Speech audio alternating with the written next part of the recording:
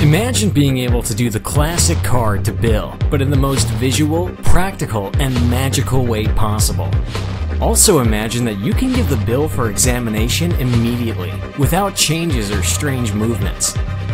Just snap your fingers and the spectator's card will instantly change into a bill of any size and any country. But this doesn't end here.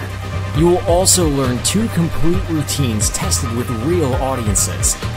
Firstly, a transposition in which the spectator's card is transformed into a bill that can appear wherever you want. And secondly, my favorite one, a complete ambitious routine in which the card becomes so ambitious that it ends up turning into money.